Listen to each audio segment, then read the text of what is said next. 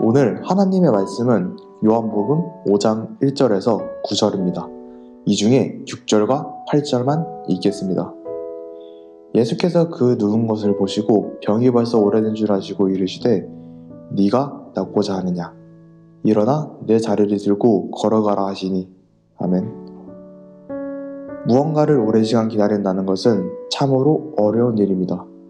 그런데 성경에는 38년이나 기다린 어떤 사람의 이야기가 기록되어 있습니다.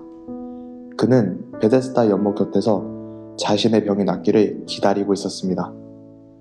천사가 나타나 연못물을 움직이면 그 이후 가장 먼저 그곳에 들어간 사람은 모든 병이 낫는다는 전설 때문이었습니다.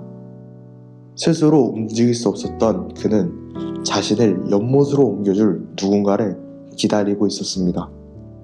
그러나 38년 동안 그를 옮겨줄 사람은 아무도 없었습니다.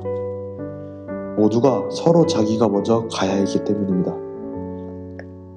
이러한 모습은 세상살이의 축소판이라 할 수 있습니다.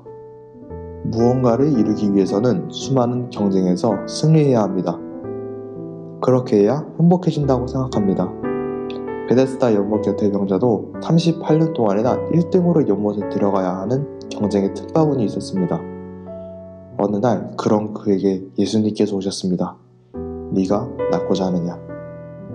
경쟁에서의 승리보다 중요한 것은 예수님을 만나는 것입니다. 혹시 누가 나를 도와줄 것인가? 이런 생각을 품은 채 살고 있습니까? 생각을 바꿔봅시다.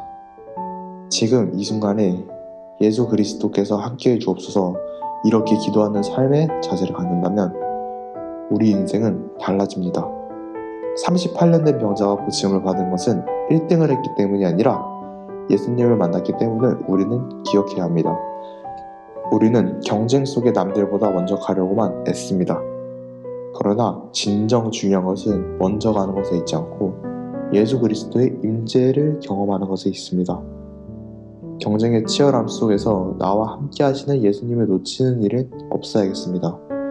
잠시 경쟁의 치열함을 비우고 예수님을 잘 붙들고 있는지 확인하는 시간이 필요합니다.